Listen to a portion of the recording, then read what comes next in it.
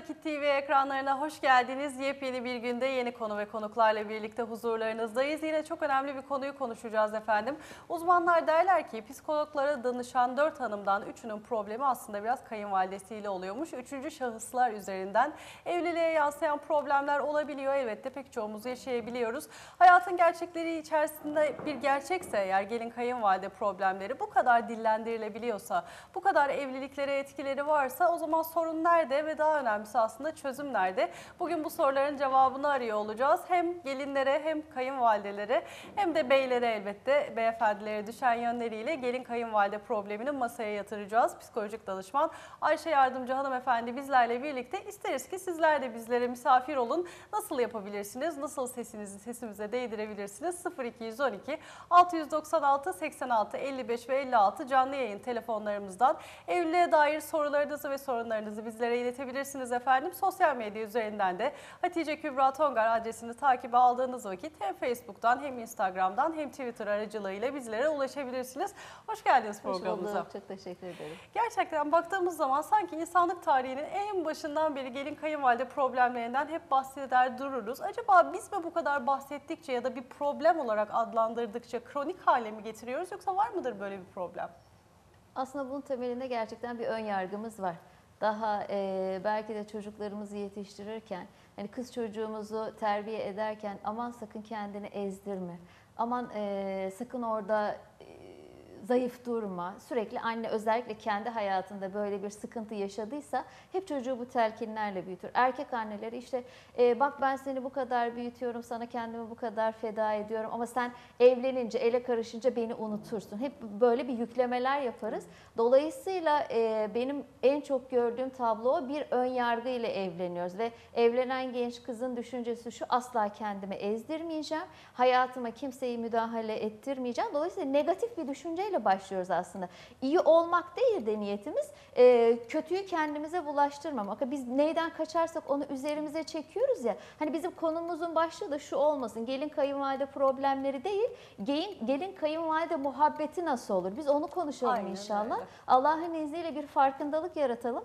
Ben inanıyorum ki e, buradaki güçler savaşını biz güç birliğine döndürürsek Allah'ın izniyle bütün yuvalarımız cennete dönecek. Oradan nasıl güzel bir muhabbet Kesinlikle. Nasıl değil mi? güzel bir işbirliği çıkar. Nasıl bir bereket çıkar. Oradan nasıl bir mutluluk çıkar. Nasıl bir dayanışma çıkar ve arkasından gelecek başarıları, gelecek maddi refahı siz hesaplayın. yani. Aynen öyle. Bakalım e, izleyicilerimiz nasıl katkılarda bulunmak istiyorlar? Hayat Ada İstanbul'dan bizi arıyormuş. Aa, Hoş ne geldiniz güzel, programımıza. Hemen. Evet. Harikalar valla. Hoş geldiniz. Hoş bulduk. Ee, sizden bir şey öğrenmek istiyorum Buyurun. yavrum. Biz 42 yıllık evliyiz. Maşallah. Eşimle beraber her zaman nereye gidersem gideyim yani tek taraflı her yere ben gidiyorum. Eşim gelmiyor. Şimdi bir- bana diyor ki e, Fatıma şey mübareklerin zamanında annesi aşağıda vefat etmiş de eşi izin vermediği için e, bayan aşağı inememiş.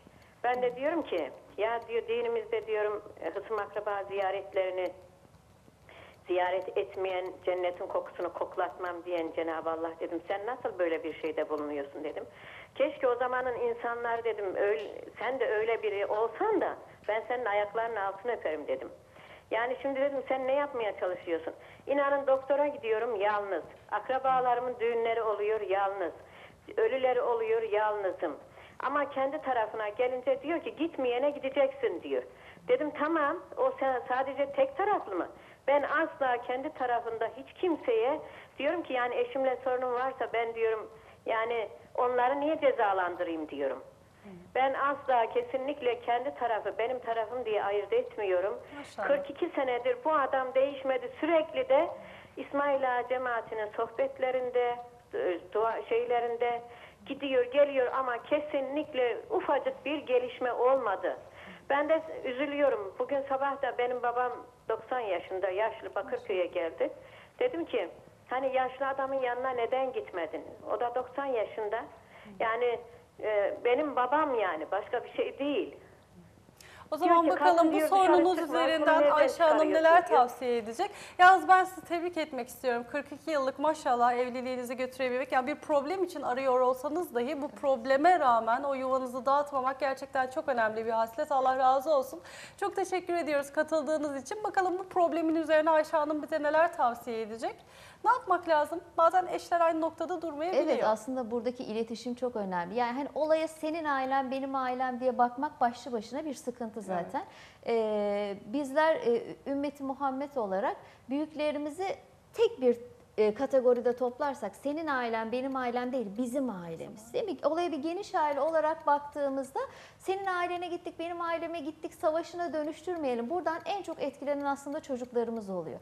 Çok üzülerek şahit oluyorum. Bakıyorum mesela çocuk e, babaanneyi çok seviyor ama anneanneyi sevmeyebiliyor. Neden? Çünkü orada işte annenin ya da babanın bir problemi olabiliyor ya da anneanneyi sevip babaanneyi Bir de sevmeyebiliyor. empoze ediyoruz değil mi? E, Sanki bu bir savaşmış gibi kendimize yandaş öyle. Yani kendi kişisel problemlerimizi çocuklarımıza da şahit tutarak onları aslında o köprüleri kuracağımızı araya duvarlar örüyoruz ve onların geleceği adına da çok büyük zararlar sağlıyoruz. Ya bunları fark etmek lazım. Hani ben burada e, tepki gösterirken aslında neye tepki gösteriyorum? Aslında bir e, ümmeti Muhammed'den kardeşime bu annesi olmuş ya da bir başkası olmuş hiç problem değil. E, ayı- ayrıma gidiyorum. Yani ona gidiyorum öbürüne gitmiyorum ve bunu dayatıyorum eşime. Hakikaten ciddi bir sabır örneği var burada. 42 yıllık bir Evet. mücadele var. Ben de hanımefendiyi tebrik ediyorum. İnanıyorum ki Allah başka yerden çok farklı rahmet kapıları açmıştır. Ama e, şu çok önemli ki daha evlendiğimiz dönemde oturup bir masaya e, iletişimi yatırmak lazım. Bizim gelecek planımız ne? Nasıl olacak? Ailelerimizle ilişkilerimiz. Biz bu yuvayı iki kişi mi kuruyoruz yoksa herkes mi dahil olacak? Aslında ne o dereceye kadar, kadar? önemli bir şeyden bahsediyorsunuz ki biz galiba nişanlılık dönemini aman gelinliğim nasıl olacak, nerede Kesinlikle, evleneceğimlerle aynen, o kadar aynen, geçiriyoruz ki aynen. birbirimizi tanımayı, beklentilerimizi konuşmayı mı Kesinlikle ıskalıyoruz? ve e, şuna da çok şahit oluyorum Hatice Hanımcığım. E, nişanlılık döneminde taviz kapısını sonuna kadar ay- aralıyoruz. Neden? Aman kayınvalidemin gözüne gireyim. Aman onun istediği gibi davranayım. Gideyim evine temizliğine yardım edeyim. Şimdi misafirim mi gelecek? Ben de evde beş çeşit yapayım götüreyim. Gönlüne gireyim. Orada bir kendime artı değer yükleyeyim. Ama zaten diyorum ya toplumsal bir ön yargı var. E, bu sefer kayınvalidenin kafası karışabiliyor. Yani o samimiyete orada güvenebiliyor. Sonra yarın evlendiğinde durum çok farklı oluyor. Her gün evinden çıkmayan gelinler kapısını açmaz oluyor. Neden? Evine müdahale ettirmemek adına. Benim hani gençlerimize acizane tavsiyem şu. O e, dönemde siz eşiniz olacak insanla ilişkinizi güçlendirmeye çalışın. Yani büyüklerinizle ilişkiler e, samimi, yürekten ama mesafeli olsun. Çok erken yani bir e, nişanlı kızın gidip kayınvalidesinin evini temizlemesini ben açıkçası çok uygun bulmuyorum. Çok erken. Gerçi mesafeden kastettiğimiz şey de soğukluk değil değil, Değil, mi? hayır, hayır. Yani tavırlı bir duruştan belirlemek. bahsetmiyoruz. Kendimize şunu soracağız. Ben bu fedakarlığı yapıyorum ya da bu özverili davranışta bulunuyorum. Bunu bir hayat boyu devam ettirebilecek miyim? Temel kriter o. Yapabilir miyim? Evet bunu yapabiliyorsa eyvallah. Hem Allah'ın rızasını kazanır hem de orada kayınvalidesine yardım ederekten onu onur etmiş olur. Ama yapabilecek miyim? Buna bir bakmak lazım. Ve sonrasında ne oluyor? Siz bir takım şeyleri alıştırıyorsunuz ve evlendiğinizde çok özür diliyorum artık istediğiniz hedefe ulaşmışsınız ve eee, tamamen dışarıda bırakıp ben yuvama hiç kimseyi karıştırmam, kimse müdahale edemez. Bu çok bencilce bir düşünce. Ya mutlaka insan işi nezaket çerçevesinde tutup yine kararları kendi arasında alıp ama o büyüklere de saygı duyarak, onların fikirlerini alarak neticede sizin evladınız o anne babanın tedrisinden çıkmış. Atamazsınız, dışlayamazsınız. Kim öder bunun faturasını? En çok biz öderiz. Biz hanımlar öderiz. Yani eşimiz kendi dünyasından e, onu arada bırakaraktan işte annesini mi memnun etsin, eşini mi memnun etsin bakıyor yapamıyor, hiçbirisine yetemiyor. Adamcağız kendisini çekmek zorunda kalıyor. Bir de aslında şu da bir işaret değil midir? Zaman zaman düşünürüm. Bazen hani nişanlı genç e, kızlarımızın şöyle yanlış bir algısı olabiliyor. E, anne ile gelin arasında bir anlaşmazlık varsa ve eşi annesini tersleyerek hatta olumsuz davranarak gelinin tarafını Evet. tutuyorsa iyi bir şey yapmış gibi, Evet, beni seçmiş evet, gibi evet, düşünebiliyoruz. evet, evet. Oysa ki şunu da işaret etmez mi? Annesine böyle davranabilen ileride eşine nasıl Aynen davranır? öyle. Bu bir Kesinlikle. Çünkü e, orada bir e, kadına gösterilen bir Evet. tavır var değil mi? Cennet anaların ayakları altına serildiyse hani erkeğin oradaki duruşu da çok önemli. Hani benim e, en sağlıklı gördüğüm bir kere adaletli olmak. Erkeğin adaletli olması. Evet annesinin problemlerini çözmeye çalışırken anneciğim hani bence burada m, ara bulmak adına ufak ufak e, yalanlar demeyeyim de e, ifadeleri belki. yumuşatmalar olabilir. Anneciğim aslında gıyabınız da sizden çok iyi bahsediyor. Hani sizi çok da örnek alıyor, çok da takdir ediyor. Ama hani daha ailemize yeni katıldı. İşte hani bir takım tecrübesizlikleri var. Siz çok daha olgunsunuz, siz çok daha tecrübelisiniz. Ben inanıyorum ki hoşgörünüzle onu istediğiniz kıvama getireceksiniz ve aynen sizin gibi bir insan olacak. Bu ne kadar onur edici değil mi? bir erkek annesi olarak bayıldım ben bu cümleye. Aynen öyle. Şimdi e, eşiyle konuşacak. Ya hayatım annem sana çok bahsetmiyor ama inan seni çok takdir ediyor. Yani çok mecliste de şahit oldum. Hani iyi ki böyle bir gelinim var. Oğlum çok doğru bir insanı seçti. Seni o kadar çok onura ediyor ki ama işte e, hani erkek çocukların anneleri çok düşkün olabiliyor. Hassasiyeti tamamen bununla alakalı. Bu asla seni beğenmediği ya da seni yetersiz gördüğü için değil. Ben e, sizi birbirinize o kadar çok benzetiyorum ki e, her geçen gün muhabbetinizin de daha çok artacağını düşünüyorum deyip erkek bir arabuluculuk yapacak. Yani onların muhabbetini artırma yollarına gidecek. Asla iki tarafın da böyle eleştirilerini besler düzeyde e, ya evet haklısın. Zaten e, annemin bu tavrını ben de beğenmiyorum. Ya da annesine gidip evet anne haklısın şöyle şöyle yapması hiç doğru değil falan deyip oradaki öfkeyi artıracağına sorunları fırsata çevirecek. Orada aslında olaydan çıkıp biraz karşısındakinin duygusunu anlama Evet. noktasına geçmek de önemli. değil mi? Evet, Mesela eşi evet. diyelim ki annesini şikayet ediyor. Orada annesinin şikayet etmesini bir yana koyup sen üzülmüşsün şu an deyip onun duygusuna duygu, odaklanmak aynen öyle. aslında. Evet, evet. Peki bunun için ne yapabiliriz deyip ona yardımcı olacak e, arabulucu, arabuluculuk yapması her zaman ilişkileri daha güçlü hale getirecek. Dediğim gibi o zaman güçler savaşı güçler birliğine dönecek. Peki Hayat Hanım'ın sorusundan yola çıkarak pek çok kişinin yaşadığı bir imtihan olabiliyor çünkü. Hem kayınvalideler üzerinden hem de hayatın genelinde bizim değiştirmeye muktedir olmadığımız, kendisi mesela 42 yıldır değişmedi diyor. Değişmez. Şimdi biz ne kadar bazen doğru durursak duralım karşımızdaki değişmeyebiliyor. Evet. İmtihan bu ya. Evet. O zaman insan kendine ne telkin etmeli durumu kabullenmek adına? Bunun psikolojik e, güçlendirme formülleri nedir? Yani işte e, hani değiştiremeyeceklerimizi kabul etmek için iman duası istiyoruz ya Rabbimizden. Gerçekten değiştirmeye çalışmak insanı çok yaran, çok yıpratan bir şey. Değişme, değiştirmeye çalışmaktan ziyade hani mevcut iyi tarafları görmeye çalışmak. Sadece soruna değil de, sadece problemli tarafa değil de sağlam olan yönlere. Yani başkasında olmayıp da eminim yani bu 42 yıllık evlilik asla sebepsiz yere devam etmez. Orada mutlaka Hayat Hanım'ı orada tutan bir şeyler var yani. Onlara odaklanmak. Evet benim e, eşim çok sinirli olabilir, çok agresif olabilir ama kadar merhametli ki mesela örnek veriyorum. O kadar merhametli, yuvasına o kadar bağlı, bana o kadar saygılı bir insan ki hani onların hatırına bu küçücük şeyi de belki içimde verdiğim anlamı değiştirebilirim. Anlatabiliyor muyum? Hayat aslında bizim verdiğimiz anlamlardan ibaret.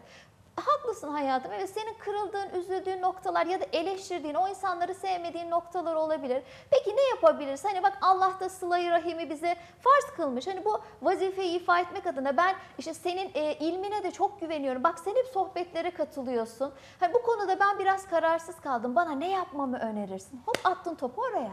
Ha buradan bir vebal varsa zaten bu vebal bana kalmaz.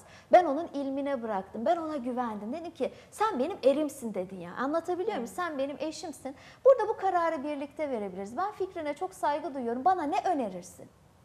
Ha orada ben e, inanıyorum ki bir öfke duygusu bile varsa ya haklısın hanım ben burada hani kişisel davrandım.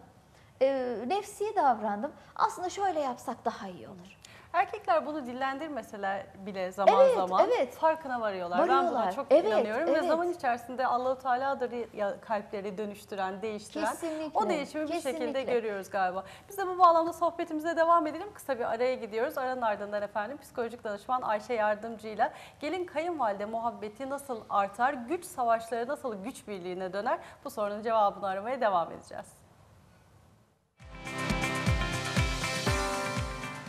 Sevgili izleyenler programımız tüm hızıyla devam ediyor. Bugün gelin kayınvalide problemlerini nasıl tatlıya bağlayabiliriz? Bu sorunun cevabını arıyoruz. Aslında hayatımızda her şeyin bizim algılarımızla yol aldığında fark ettiğimiz noktada ön yargısızca evlilik eşiğinden geçebilirsek galiba her şey daha toz pembe bir hale bürünebiliyor. En azından hayat içerisinde elbette ki kişiler arasında problem olur ama kayınvalide problemi diye ayrıca anlamlandırmanın da sıkıntı olabildiğini görüyoruz. Zira insanın kendi evladıyla bile problemler yaşayabildiği ama her problemin de hem bizi tekamüle ulaştırdığı hem de çözümünün muhakkak ki her zorlukla birlikte bir kolaylık olduğu gibi problemlerin de çözümlerinin içinde olduğunu bilmek rahatlatıcı kısmı galiba. Sizlerin de sorularınız varsa 0212 alan koduyla 696 86 55 ve 56'dan bizlere ulaşabileceğinizi tekrar hatırlatmış olalım.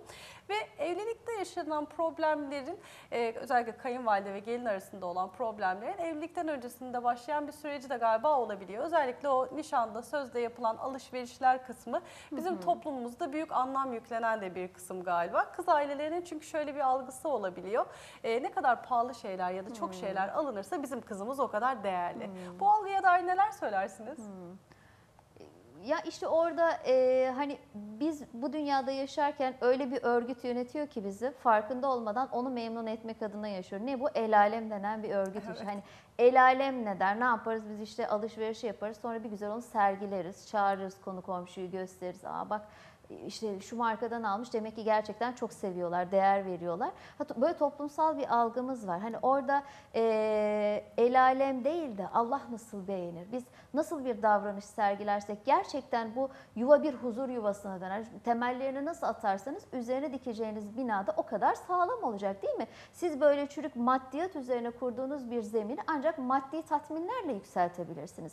Ama oradaki niyetiniz gerçekten Allah rızası için bir yuva kurmak olacaksa çarşıya çıktığınızda senin param benim param mevzusu değil bizim neye ihtiyacımız var? Gerçekten bu yuvanın, bu yuvanın sağlıklı ilerlemesi için neler gerekli, neler almamız gerekir? İnsanlar samimiyetle bunu yaptığında ben inanıyorum ki o yuvanın bereketi, muhabbeti de farklı olacak. Ama insanlar artık böyle e, sinirleri son raddeye gelinceye kadar birbirlerini yıpratıyorlar ve en çok e, ayrılmalar bu alışveriş Evet. süreçlerinde oluyor biliyorsunuz. Yani sırf bu sebeple Aynen. e, etiketleyebiliyoruz birbirimizi. Şimdi e, bunun ayırdığına çok iyi varmak lazım. Hani Müslüman e, asla savruk olamaz. Müslüman cimri olamaz ama savruk da olamaz. Bizler tutumlu olmak zorundayız. Gerçekten bir kayınvalide e, e, yapamaz. Ben şimdi düşünüyorum e, alışverişe çıksanız "Ay yavrum buna ihtiyacın var mı alalım mı dese alınır karşı taraf. Hani öyle, o olgunluğa gelemedik henüz. Ama olması gereken bu değil mi? Hep birlikte bunun istişaresini yapmak ve orada e, samimiyet evet bu bir ihtiyaçsa zaten onun bedeline bakılmaz değil mi? Alınması gerekiyorsa ha ihtiyaç göreceli bir şey. Tabii ki genç kız bir takım arzuları var bunlar yerine getirilecek ama bu işte ifrat tefrit ölçüsü çok iyi ayarlanmalı. Hakikaten orada ne e, çok cimri davranılmalı ne de çok savruk davranılmalı. Böyle e, adeta e, talan edercesine aman hani ne, ne kurtarırsan kârdır düşüncesiyle e, başlanırsa ben inanıyorum ki o yuvada asla bereket olmayacaktır. O aldıkların da hayrını görmeyecektir Hoş insanın kişiler. kendi değerini alınan şeyler üzerinden anlamlandırması da gerçekten Yetersizlik psikolojik bir duygusu rahatsızlık kesinlikle. yani. İnsan kendini kötü hissetmeli aslında değil mi? Hani benim e, ben zaten başlı başına bir markayım yani. Benim bir markaya askılık yapmaya ihtiyacım yok ki.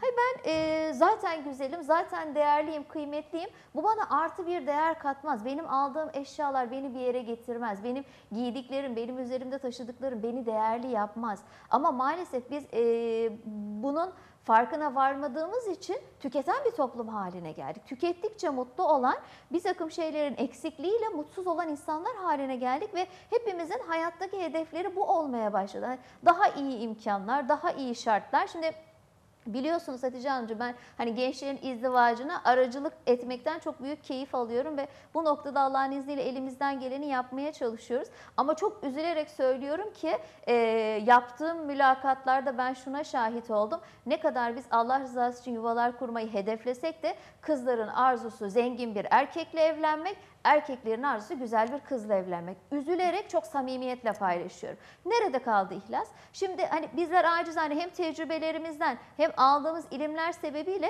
e, insanları birbirine ya- yakıştırabiliyoruz değil mi? Diyoruz ki bunların fıtratları birbirine yaygın, yakın. Allah'ın izniyle bunlar güzel bir yuva kurabilir.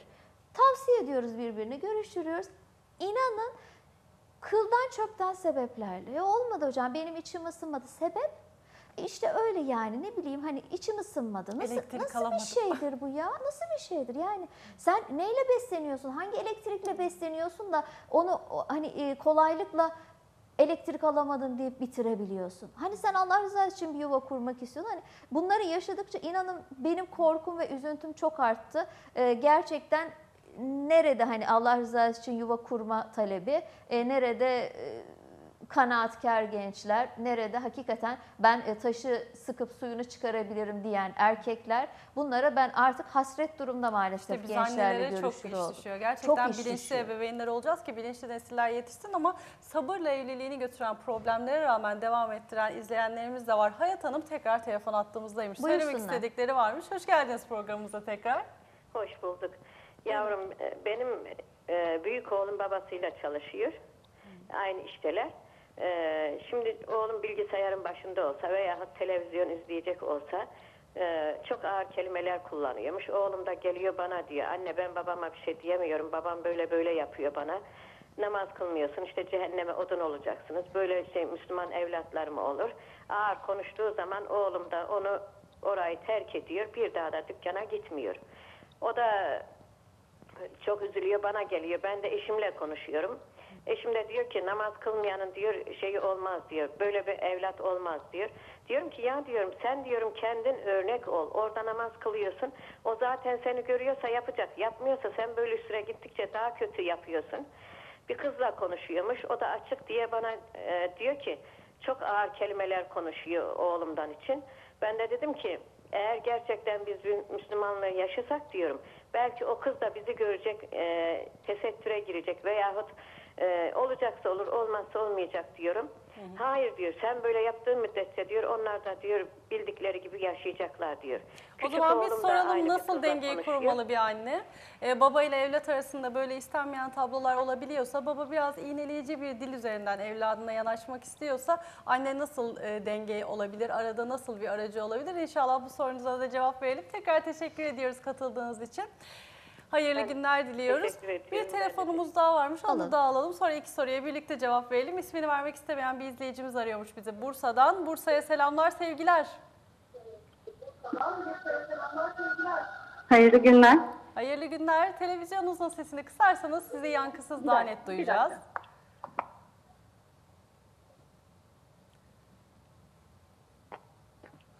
Geliyor mu şimdi sesimiz? Ben şimdi alıyorum. Benim sesim geliyor mu? Evet, sizi de çok güzel duyuyoruz. Buyurun efendim. Teşekkürler. Hayırlı programlar. Teşekkür ederiz. Buyurun. Ee, ben 10 yıllık evliyim.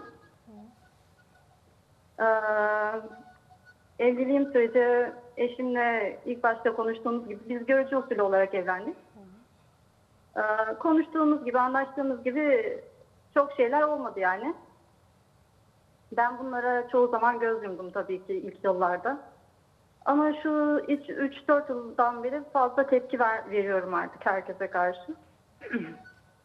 Kayınvalidem falan iyi insanlar, çok iyi insanlar ama çok müdahale ediyor hayatıma, yani benim hayatıma. Birlikteyiz bu arada, biz birlikte yaşıyoruz. İşte çocuklarıma benim söyleyeceğim şeyleri daha çok o hep söylüyor. O anlatıyor, o ediyor. Yani ben müdahale edeceğim, etmem gereken yerde daha çok o müdahale ediyor. Bu sefer ben tepki gösteriyorum. Tabii ki sabrediyorum. Birkaç kere sabrediyorum. Ay çok heyecanlıyım. İlk kez böyle bir programa katılıyorum. Kusura bakmayın. Estağfurullah. Ee, artık ben de bunlara fazla tepki göstermeye başladım. Kalp kırmaktan çok korkuyorum ama üzülüyorum artık. Ben de dayanamıyorum çünkü artık. Acaba ben bazen diyorum ki sen kendime yani yok yani aslında iyi bizim iyiliğimiz için yapıyor falan diye düşünüyorum ama ben mi acaba kötü düşünüyorum diye düşünüyorum yani. Çok önemli bir Ben soru sordunuz yapıyorum. aslında. Çünkü gelin kayınvalide anlaşmazlığı varsa eğer bazen aynı evde yaşamak o e, çizmemiz gereken, murad edilen sınırları çizmemiz noktasında biraz daha bizi zorlayabiliyor. İnşallah bu sorunuza cevap vermeye çalışalım. Aynı evin içindeysek eğer o dengeler nasıl oturtulmalı önemli bir Bir pencere sorun açtınız daha bize. var. Buyurun. Doktor hanıma. Buyurun.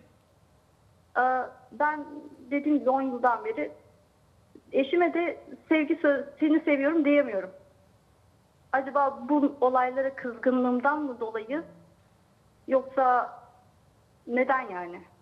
Sevmesem 10 yıl boyunca çocuklarımız var, iki tane çocuklarımız var. Herhalde bu evlilik yürümezdi diyorum ama neden diyemiyorum. Ha bunlar üzdüğü için mi? Bunlar beni ona karşı sinirlendirdiği için mi? Sözünde durmadığı için mi acaba sebebi diye düşünüyorum.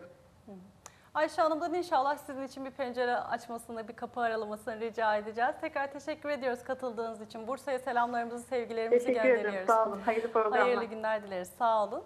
Hayat Hanım'ın sorusundan başlayalım. Evet. Baba ile evlat arasında e, hoşlanmadığımız haller varsa, baba biraz sert bir dil kullanıyorsa anne ne yapmalı? Ee, 43 yıllık bir evlilik var ve o döneme baktığımızda günümüzden biraz daha farklı bir kültürle çocuklarımızı yetiştirdik ve bunun hiç de işe yaramadığına şahit olduk ee, ilerleyen zamanlarda. O dönemki kültür korku kültürü. Biz hep e, cezalandırarak, hep Allah'ın e, Celal isminden bahsederek, hep yakan bir cehennemden bahsederek çocuklarımızı dine meylettirmeye çalıştık ve ondan sonra çocuklar ne demeye başladı? Haşa ben Allah'ı sevmiyorum. Çünkü peygamberi seviyorum çünkü onun cehennemi yok. Bu hale getirdik ve anladık ki e, doğrusu bu değil.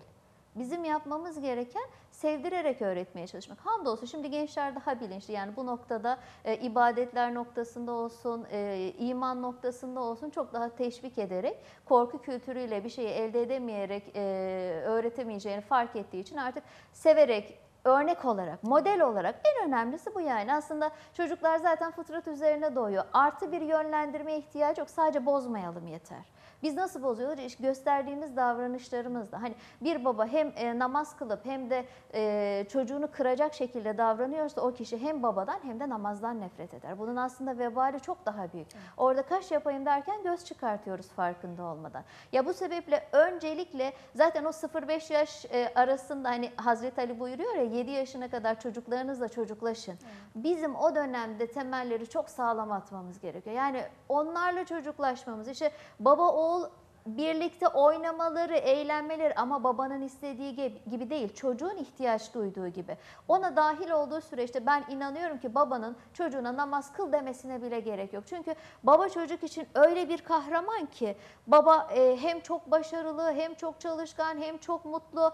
Neler yapıyor? Çocuk ona bakıyor, gözlemliyor. Baba seccadeyi seriyor, çocuk da yanına seccade serip baba gibi olmaya çalışıyor. Ve ben böyle model ailelerin çocuklarıyla konuştuğumda, sorduğumda bana verdiği cevap diyorum ki sen büyüdüğünde ne olacaksın? Baba olacağım diyor. O kadar baba gözünde kahraman yerini almış ki. Ha burada babayı değiştirme imkanımız belki yok ama bir anne olarak şunu yapabiliriz. Babayı kahraman haline getirebiliriz. Hani diyor ya sen kocana kral gibi davranırsan o da sana kraliçe gibi davranır. Evet hataları var. Görmemezlikten gelemeyiz ama ısrarla biz yarayı kaşırsak ne olur? Kangren olur. Evet böyle bir problem var. Ulaşamıyoruz. Belki eşlerimizin davranışlarını çok takdir etmiyoruz. Belki biz hanımlar daha çok okuyoruz, araştırıyoruz, kendimizi geliştiriyoruz. Ama ben şunu inanıyorum. Gerçekten erkeklerin eee, değişimi daha kaliteli oluyor, daha köklü oluyor. Hakikaten biz ihlasla yaşarsak, biz ihlasla tevekkül edersek inanıyorum ki o iyiliğin bulaşıcı etkisi olacak ve eşlerimiz bu duruma asla kayıtsız kalamayacak. Taraf olmayacağız yani tarafsız olacağız. Eşimizle de güç birliği yapmayı hedefleyeceğiz. Öbür türlü ne oluyor? Tutarsız bir aile hayatı ve beraberinde gelen türlü türlü problemler. Yani uzlaşmanın yollarını arayacağız. Eşimizi değiştirmek ya da şikayet etmek değil de mevcut şartlarda ben en iyi ne yapabilirim? Her şeye rağmen. Yok mu böyle başarı örnekleri? Milyonlarca var. Ve bakıyorsun o insanlara Allah öyle farklı kapılar açmış ki sonunda şunu da söyleyebiliyor. Hani biz e, şikayet ettiğimiz her şeyin o dönem atlattıktan sonra rahmet olduğunu görebiliyoruz ya. Ya belki de böyle bir eşim olmasaydı ben bir şeyleri fark edemezdim. Belki ben evlatlarıma bu kadar çok ilgi itina gösteremezdim. Dolayısıyla onlar kayıp gidebilirdi. Ne güzel bu sizi hep teyakkuzda tutar. Hep basiretiniz açık olur. Niye? Çünkü bir taraftan bir şeyler kırılacak, yanlış gidecek diye endişelenir ve daha dikkatli davranırsınız. Dolayısıyla bunu kâra çevirmek lazım. Hiçbir zaman soruna değil, her zaman o sorunun içindeki çözüme odaklanacağız Allah'ın izniyle. Peki bahsettiğimiz bu mevcut durum kayınvalidemizle aynı evde yaşamaksa. Biz Evet. sınırların öneminden de bahsediyoruz Evet. ama aynı evde Evet. hayatı Evet. paylaşıyoruz. Orada o sınırlar denge nasıl oluşacak? Evet. Ee, bir kere önce bir anlamaya çalışmak lazım. Daha evlendiğimiz gün itibariyle şöyle düşünelim. Ee, evleniyoruz. hanım elinde valiziyle geliyor, bey evde valiziyle bizi bekliyor. İki farklı kültür, iki farklı dünya ve iki farklı anne modeli. Şimdi ben yetiştiğim anne gibi bir anne bekliyorum değil mi? Kayınvalidemin de aynı şekilde davranmasını bekliyorum. Kendi hayatımdan örnek vereyim.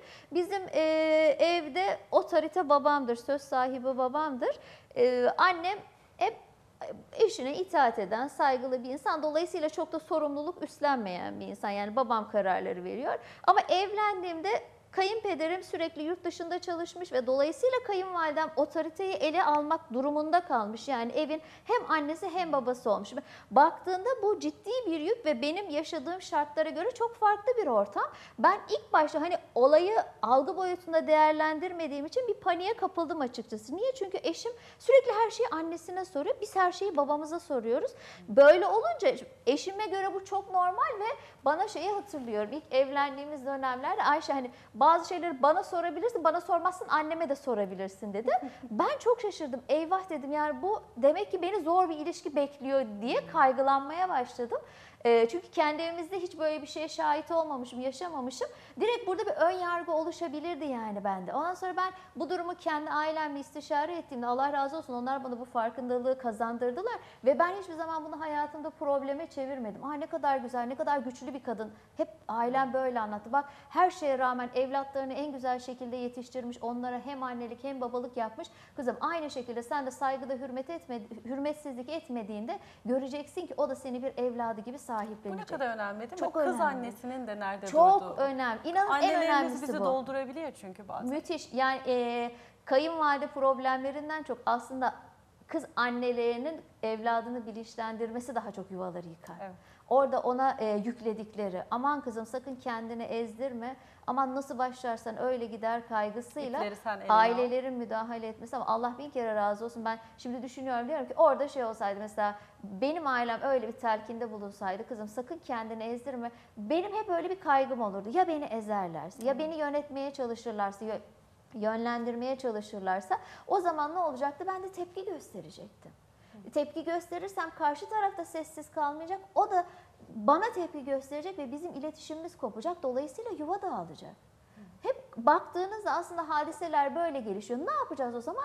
Anlamaya çalışacağız. Nasıl bir ortam? Ben nasıl bir aileye dahil oldum? Asla e, hiçbir aileyi kendi ailemizle kıyaslamayacağız. Herkesin şartları, durumları kendine göre farklı. Empati kurmaya çalışacağız. Hiçbir anne çocuğunun mutsuz olmasını istemez. Ve hiçbir anne istemediği bir insanı kendine gelin almaz emin olun. Aslında her kayınvalide gelini çok seviyor.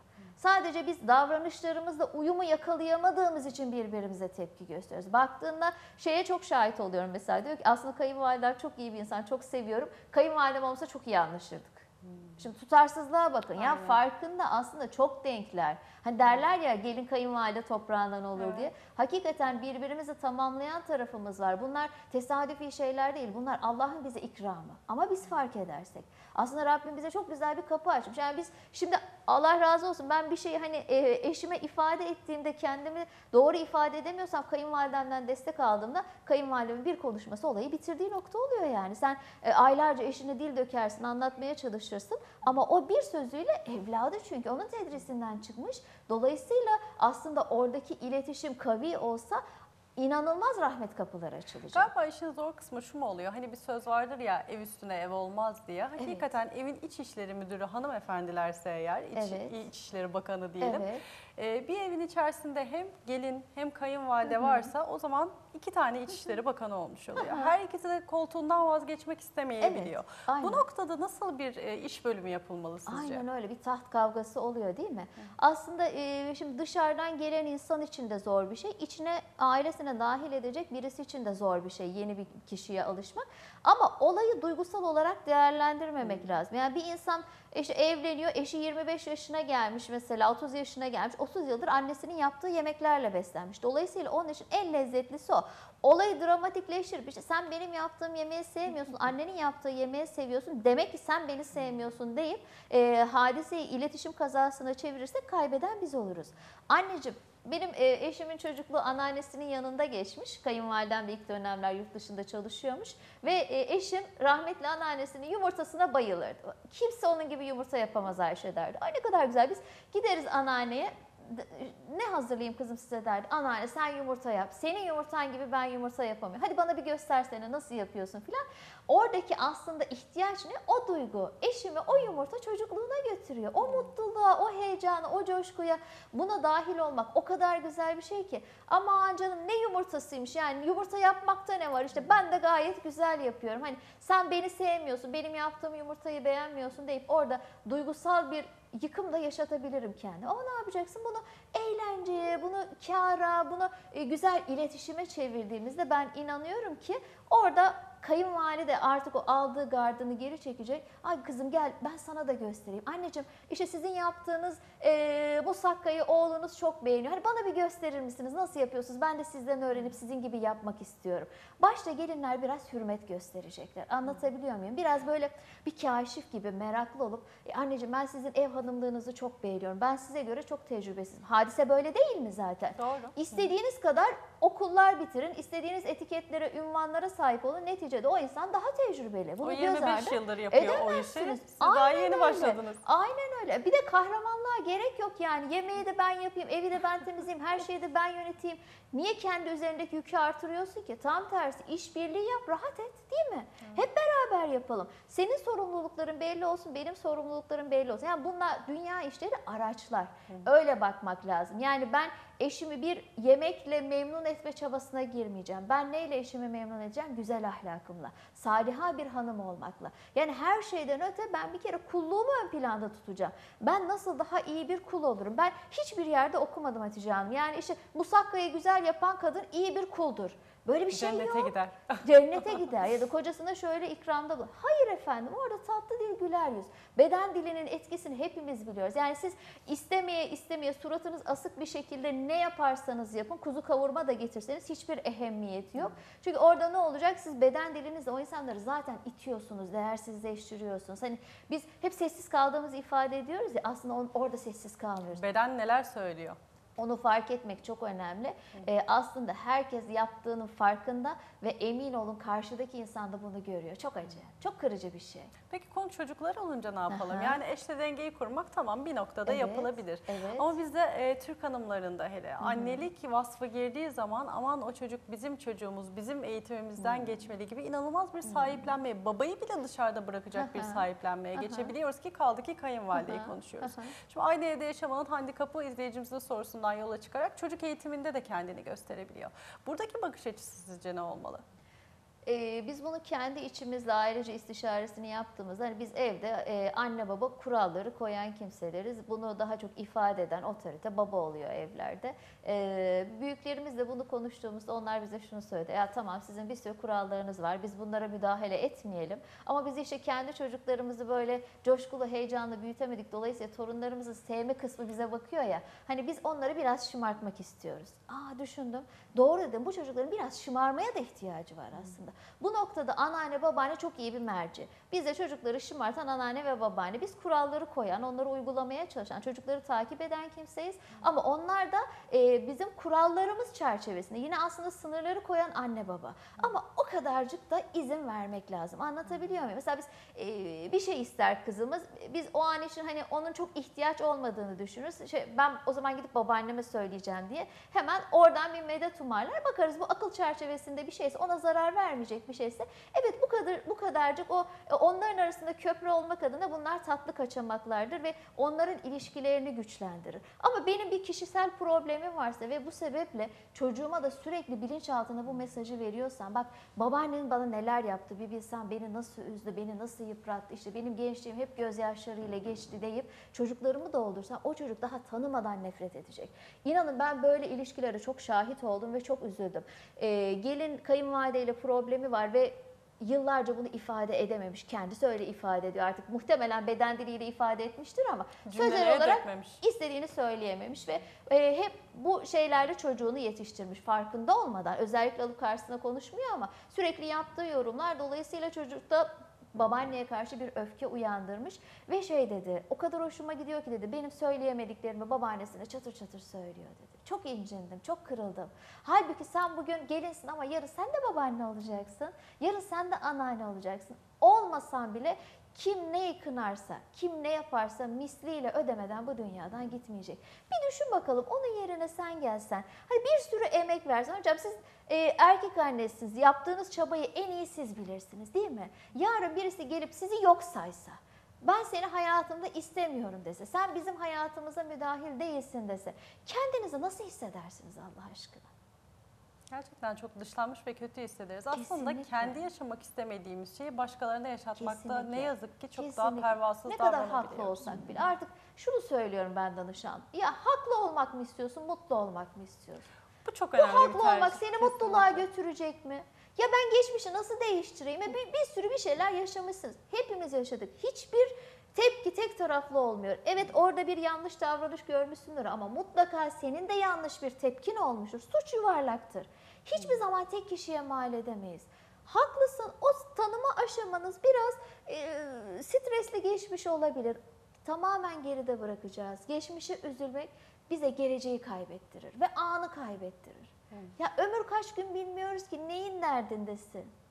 Ne kim kaybediyor? Sen kaybediyorsun. Bak hastalıklar bu sebeple, anı kaçırışlarımız bu sebeple biz şahitlik edemiyoruz. Dünyaya şahitlik için geldik değil mi? Allah'ın bunca nimetine şahit olmak için geldik. Ama öfkelerimiz sayesinde, bu geçmiş hırslarımız sayesinde ne yapıyoruz? Bu güzellikleri seyretmeden bu dünyadan göçüp gidiyoruz. Kesinlikle. Bu bağlamda izleyenimizin Bursa'dan programımıza katılmıştı. Sorusunun önemli bir kısmı daha vardı. Acaba eşime çok mu öfkeliyim ki sevdiğimi söyleyemiyorum diye. Şimdi kısa bir ara vereceğiz. Aranın ardından bu soruya cevap verelim. Çünkü e, gelin kayınvalide arasında olan anlaşmazlıklar eğer eş de çok doğru bir noktada dengeyi sağlayamamışsa eğer e, evlilik iletişiminde muhakkak ki çok fazla etkiliyor. Ciddi öfke birikimlerine neden olabiliyor. Bu noktada ne yaparız? Bu soruya cevap verelim ama siz dinlerken Fussilet suresindeki bir ayet-i kerimeyi de hatırladım. Notlarım arasına da almıştım. İzleyenlerimize paylaşalım öyle reklam arasına gidelim. Rabbimiz buyuruyor ki iyilik de eşit değildir, kötülük de. Sen kötülüğü en güzel olan hareketle sav. O zaman görürsün ki seninle kendisi arasında bir düşmanlık olan kimse sanki yakın candan bir dost vermiş. Aslında gelin kayınvalide iletişimini de eşler arasındaki iletişimi de çok güzel özetleyen bir ayet-i kerime gerçekten. Kısa bir ara verelim. Aranın ardından devam edeceğiz. Sevgili izleyenler programımız kaldığı yerden devam ediyor. Akit TV ekranlarındasınız. Kadınca Kararınca programını izliyorsunuz efendim. Bugün gelin kayınvalide problemleri nasıl tatlıya bağları sorusunun cevabını arıyoruz. Aslında problem de dememek belki lazım. Belki algılarımızı değiştirmek adına güç çatışması varsa eğer nasıl güç birliğine çeviririz bu sorunun cevabını arıyoruz. İzleyenimizden yola çıkarak önemli bir noktaya da gelmiştik. Gerçekten e, eşimize karşı biz hanımlar e, biraz kindar olabiliyoruz ya da biraz olayları belki unutmuyoruz. Öyle ki hani 5 yıl öncesinde sen şu yemeği tuzsuz demiştin 5 yıl sonra gündeme Evet. gelebilen bir zihin yapımız var hanımefendiler olarak. Konu kayınvalideler olunca da e, yıllarca süren bir anlaşmazlığa sebep olabiliyor ve öfke birikimleri de olabiliyor elbette. Burada ne yapmak lazım? De- İzleyenimiz demişti ki eşime sevdiğimi söyleyemiyorum mesela. Bunu nasıl aşacağım demişti. belki de cezalandırıyor geçmişin intikamını almak adına. Ee, aslında şuradan başlamak lazım. İletişimde kiminle problemimiz varsa muhatabı ve sorumlusu odur. Yani eşimizin annesiyle bir problemimiz varsa asla bunu çözecek kişi eşimiz değildir. Biz eşimiz mi o zaman muhatap görüyoruz? Yani Tabii. o böyle yapmasaydı böyle olmazdı Tabii. ya mı getiriyoruz Tabii işte yani yani? e, ya öyle ya da hani e, bu noktada müdahale etmesi gerekiyor diye düşünüyoruz. Aslında bu hiç sağlıklı bir beklenti değil. Çünkü o zaman hadiseler daha da büyüyebilir, anlam ve boyut değiştirebilir. Bu sefer eşimiz e, annesi ya da eşini seçmek durumunda kalabilir. Bu yıkıcı hale getirir. Burada ne problemimiz varsa, anlaşamadığımız ne nokta varsa samimiyetle ama yapıcı bir şekilde yani amacımız orada yıkmak olmamalı. Yani şu çözüm değil. Aa, kayınvalidemle artık görüşmüyorum kafam çok rahat. Eşim istediği gibi annesini gör. Sen çok büyük bir kapıyı kapattın. Bu senin cennet anahtarından bir tanesiydi ve sen onu denize attın. Düşünsenize yani böyle bir şeyle vicdanını rahatlatan insanlar var. Asla öyle değil. Yeryüzünde diyor ya hani yaşlıların iniltisi, bebeklerin ağlaması olmasa Allah rahmet etmezdi diye. Yani senin için böyle bir rahmet kapısı var. Neden onu kâra çevirmeye çalışmıyorsun? Neden anlaşmaya çalışmıyorsun ki insanoğlu görüyorsunuz kobralarla bile anlaşıyor. Yani ne kadar kötü olabilir bir kayınvalide ya da bir insandan bahsediyoruz. Hani bu sanki bir türmüş gibi oldu artık kayınvalide. kaçılması gereken bir türmüş gibi e, esprisini yaparlar ya en iyi kayınvalide ölü kayınvalidedir diye. Hani Allah muhafaza hani o derece kaçtığımız bir şey haline gelmiş. E, Bu da bir e, iki insanın iletişimi gibi. Ya orada can cana muhabbet edip anneciğim çok güzel bir evlat yetiştirmişsiniz. Bu noktada sizi takdir ediyorum. Ki bizler anne olunca bunu daha iyi anlıyoruz Evet. değil mi? Bütün mesaimiz çocuklar üzerinden değişebiliyor. Sağlığımız, canımız, ihtiyaçlarımız her şeyi önce çocuklarımıza diyoruz sonra kendimize diyoruz değil mi? İster istemez yani annelik böyle bir fedakarlık. E aynı şeyi evladı için yapmış bir insan bizim muhatabımız. Ama orada biz yani anlamak, e, iletişim kurmak yerine hayatımızdan çıkarmayı ve burada da eşimizin bize destek olmasını bekliyoruz. Evet hayatım sen çok haklısın. Annem gerçekten çok kötü birisi artık görüşmesen de olur demesini bekliyoruz herhalde bilinçaltımızda. E, Böyle yapmadığında da "Ha, madem öyle ben de sana artık e, duygusal olarak tepki veriyoruz. Yani orada aslında psikolojik bir şiddet uyguluyoruz. Sevdiğimi söylemiyorum. Sana bir takım ambargolar getiriyorum. Hizmet ediyorum ama bak güler yüzle hizmet etmiyorum. Farkında olmadan kendimiz kaybediyoruz. İzleyicimiz ne yapsın o zaman? Bugün hemen eşine ne yapsın? Bugün Nasıl kendi kendine bir bunu? karar alsın. Ben e, en azından bir sünneti hayatıma geçiriyorum. Efendimiz buyuruyor ya birbirinize sevdiğinizi söyleyin diye. Ve ne kadar güzeldir ki e, iki çiftin muhabbetle diyor birbirine sarılması küçük günahların dökülmesine vesile olur. Ben ne için yaşıyorum? Kendime bu soruyu soracağım. Ben bu dünyaya geldim dedik ya az önce haklı olmak için mi geldim? Mutlu olmak için mi geldim? Ben bu dünyaya aslında iyi yaşamak için değil de iyi ölmek için geldim. Bunu aklımızdan çıkarmayacağız. İyi yaşamak için değil, İyi, ölmek, için, Ne geldim. kadar güzel. Peki nasıl yaşarsam ben gerçekten iyi bir ölümle giderim bu dünyadan.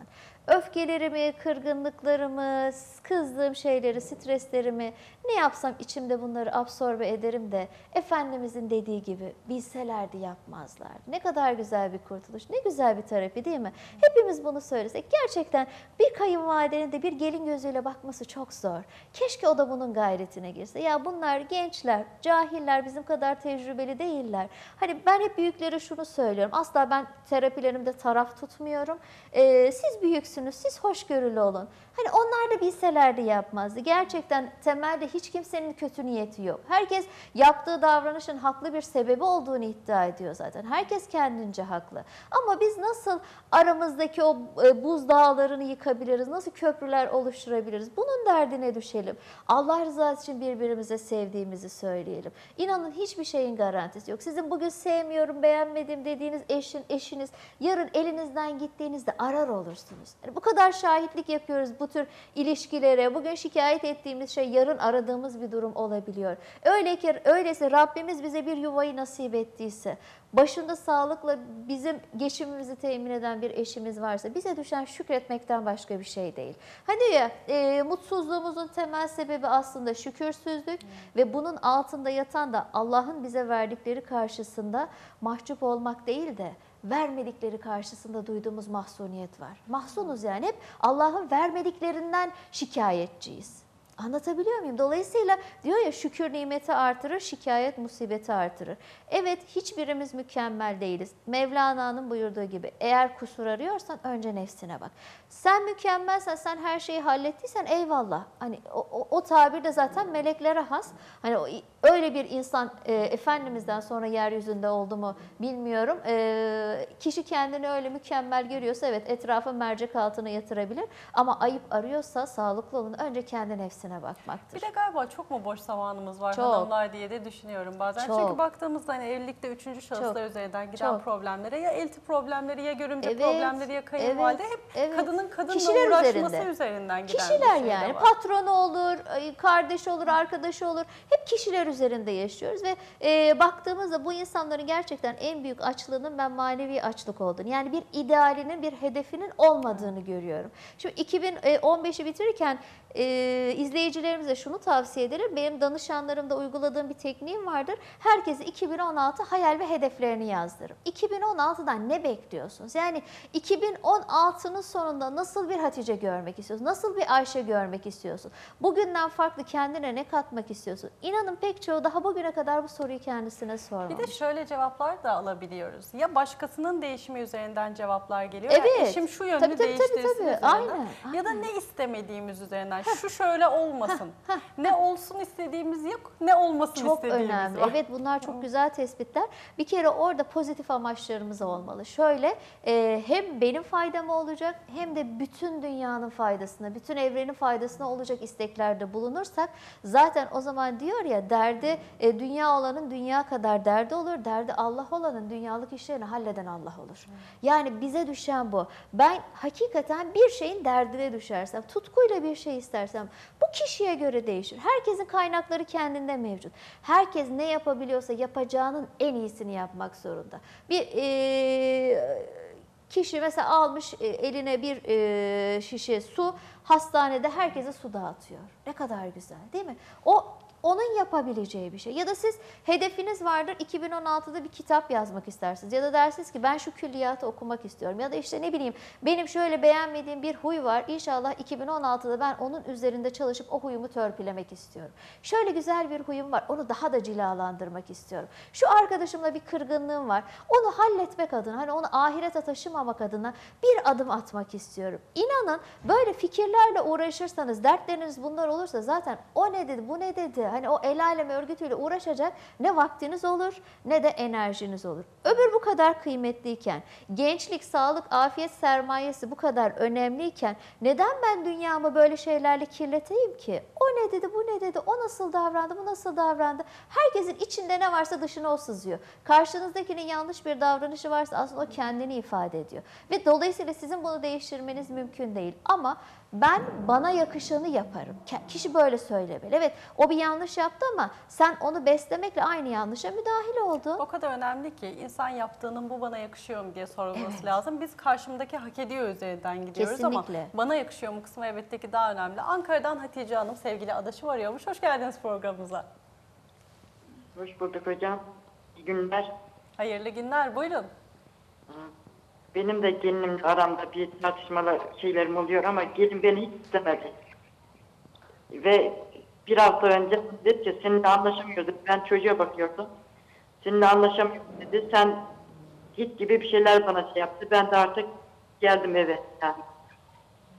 Biraz heyecan kusura bakmayın. Pek fazla Estağfurullah. şey yapamıyorum Siz da. oğlunuzun evinde mi kalıyordunuz çocuğa bakmak için? Ben çocuğa bakmaya gidiyordum Ankara'dan o başka bir şeye. O onun için bana anlaşmıyorum seninle dedi. Sen dedi git dedi. Sonra ben de bir şey kendim bir şey yapamadım işte. Savunamadım. Bunun için yani hiç istemedi beni. Hiç istenmedim. Bir haftadır görüşmüyorsunuz gelinizle. Görüşüyoruz ama öyle yani ben hatta istemedi, istenilmediğimi fark ediyorum. O zaman böyle bir durumda ne yapmak lazım? Gelinimiz bize e, istemiyor gibi davranıyorsa, böyle Evet. hissettiriyorsa ne Evet. yapmak lazım? İnşallah bu sorunun cevabını alalım. Rabbim en kısa zamanda inşallah ilişkilerinizi toparlamayı nasip etsin. Evlat da anne de e, et tırnak gibi candan bir Ama parça evet. ayrılamazlar. Rabbim bu idrakta durmayı nasip etsin inşallah. Ama bunu da söylemedim oğluma. Böyle böyle diye söylemedim. Aslında görevliydi. Bir yerde ö- ö- çalışıyordu. Bunu da söylemedim. Ayrılacağım dedi. Senin şey yapamıyorum, anlaşamıyorum. Böyle deyince ben de artık işten ayrıldı kendisi. İnşallah Ayşe Hanım'a bir soralım bakalım bize ne cevap verecek. Çok teşekkür ediyoruz katıldığınız için. Hayırlı günler diliyoruz. Oğluma da söylemedim hocam yani. Oğluma da söylemedim bunu. Böyle bana söylediklerini. İnşallah Özür cevap vereceğiz sorunuza. Görüşmek üzere diyelim. Tekrar bekleriz yayınlarımıza. Hayırlı günler diliyoruz. Böyle bir sıkıntı var. Evladıyla da paylaşmamış. Evet, evet.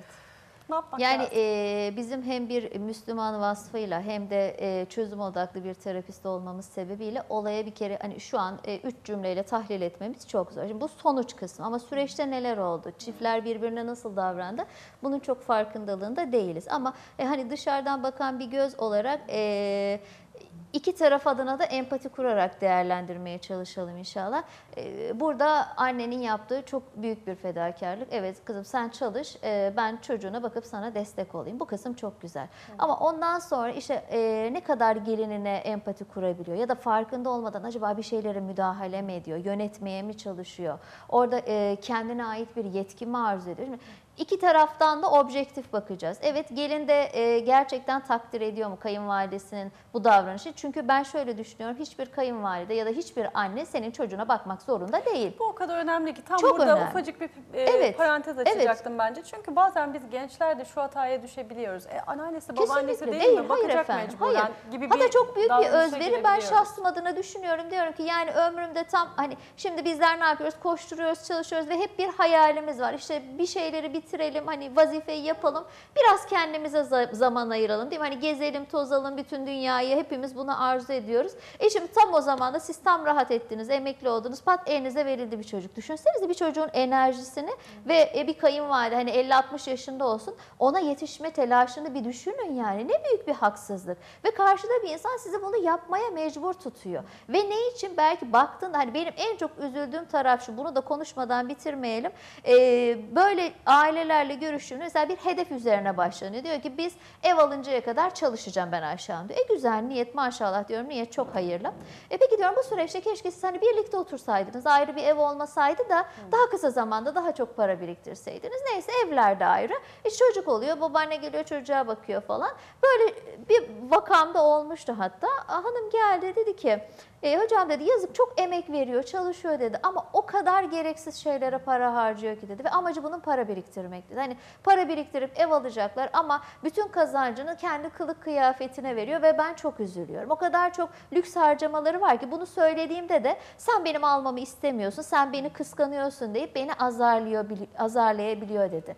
Bu durum beni çok üzdü gerçekten. Yani e, orada sen halis bir niyetle çıkmışsın ve bu insanlar sana bu sebeple destek olmuşlar. Ama sen bir müddet sonra onları yok saymışsın ve sen benim çocuğuma karışamazsın. İşte sen benim ne alıp verdiğime karışamazsın. Madem böyle karışmak niyetindesin öyleyse ben işi de bırakır çocuk çocuğu da elinden alırım. Bu gerçekten karşıdakini çok incitici bir durum ve böyle durumlarda da artık e, anneanne ya da babaanne her kimse diyor ki aman bir daha ne çocuğuna da bakarım ne evine de karışırım ne yapıyorsa yapsın. Ne kadar üzücü değil mi? Toruna Evladınız ayrı bir dünya oluyor. Tabii ki düşünsenize bir sürü yaşanılan bakıcı vakalarını hepimiz biliyoruz. En güzel kaynak aslında anneanne babaanne. Kim onun kadar merhamet eder? İnanın ben evlatlarıma anneanne babaanne kadar merhamet edemiyorum yani. Ha bakıyorum yazık aman diyor kızım işte hamur istedi hamur açtım. Aman kızım şunu istedi şunu yaptı. Ya anneciğim yorulmadın mı diyorum. İşte gidiyorsunuz bir sürü yol gezmişsiniz falan. E ne yapıyor kızım işte onları mutlu etmek için. O kadar fedakarken yani kalkıp benim ufak tefek şeyleri kişiselleştirmem. İşte benim e, evliliğime bunu bir tehdit olarak algılamam aslında beni değersizleştirir. Ne olursa olsun ben eşimle bir e, iletişim halindeysem, orada biz bir olabildiysek, biz birbirimize kenetlendiysek zaten dışarıdan hiçbir şeyin müdahale etmesine biz izin vermeyiz. Orada güler geçeriz. Haklısın anneciğim deriz. Biz yine arkadan doğru bulduğumuz şekilde davranırız. Öyle değil mi? Niye? Çünkü ben eşimle zaten konuşmuşum. Hatta bu- bunun esprisi bile yapılır ya derler ki arada erkekler. Hani ben annemin yanında sana biraz daha otoriter davranayım da hani bak gelin parmağını da oynatıyor diye düşünmesin, kırılmasın, incinmesin. Hani böyle latifeler yaparız. Yeter ki biz arka tarafta temeli sağlam atmış olalım. Aslında problem eşimizle olan ilişkimizde ama biz o noktada düzeltme çabasına gitmiyoruz ya da onu fark etmiyoruz. Hep bir suçlu arıyoruz. Hep bir suçlu var ve hep biz kurban durumundayız. Bunu aşmadıkça hayatta gerçekten istediğimiz noktaya gelemeyiz. Kesinlikle. O zaman bu yayın inşallah şuna vesile olsun. Hani Siz İnşallah. dediniz ya kayınvalideler adeta bir tür gibi uzak durulması gereken bir Aynen. tür gibi adlandırılıyor. Biz inşallah bu yayın sonrasında hem gelinler olarak e, Evet. şu noktaya gelelim ki kayınvalideler de bizim Müslüman bir kardeşimiz. Eyvallah. Adına kayınvalide demeyelim. Evet. Bir komşu Anne teyze mesela. olsa nasıl Aynen. davranacaksak Evet, aslında evet, evet. o noktaya gelebilsek pek çok şey çözülecek. Aynı noktada tabii Kesinlikle, kayınvalideler için kesinlikle. gelin nazarıyla o toplumsal kötü algıyla belki bakmaktan çıkıp bir Müslüman evlat olarak kendi evladımız olarak bakabilirsek her şey çok daha güllük gülistanlık Hatta bu olacak. düşünceyi teyit etmek adına da deriz ya farkında olmadan. Ya aynı şeyi annem söylese kırılmıyorum da kayınvalidem söylese kırılıyorum. Ha bir kendine sor bakalım ne kadar adilsin. Herkes kendine bunu sorsun. Gerçekten ben adaletle muamele ediyor muyum? Öyle, anne ise ha senin annen ha kayınvaliden hiç fark etmez. Aynı beklentiye gireceksin ve gelen tepkilere de aynı şekilde yorum yapacaksın. İnanıyorum ki ben böyle olduğu noktada annemizden hiç fark olmayacak. Tam tersi bize annemizden daha çok merhamet gösterecek. Çünkü iki kere sevecek. Hem evladına çok kıymet verdiği için hem de evladını seven bir kişi olduğumuz için. Kesinlikle. Rabbim hepimizin o noktada inşallah Amin. durmasını Amin nasip etsin. inşallah. Çok teşekkür ediyorum. Ben çok teşekkür için. ediyorum fırsat verdiğiniz için. Sevgili izleyenler bugün de yayınımızın nihayetine geldik. Ben Ayşe Hanım'ı dinlerken hem kendi kayınvalideme hem şu an çocuğumun başında bulunan kendi annemin de ellerinden öpesim bir sevgi selam yollayasım geldi müsaadenizle. Gerçekten anneanneler, babaanneler çok kıymetli. Hepsinin inşallah değerini bilmeyi Rabbim bizlere nasip etsin. Gelecekte biz de o rollere geleceğiz inşallah da bizim bir de kıymetimiz bilinsin bugünden ektiğimiz tohumlarla. Yarın saatler 11.45'i gösterdiğinde tekrar sizlerle olmak duasındayız. Yeniden görüşünceye kadar Allah'a emanet olun. Hoşçakalın.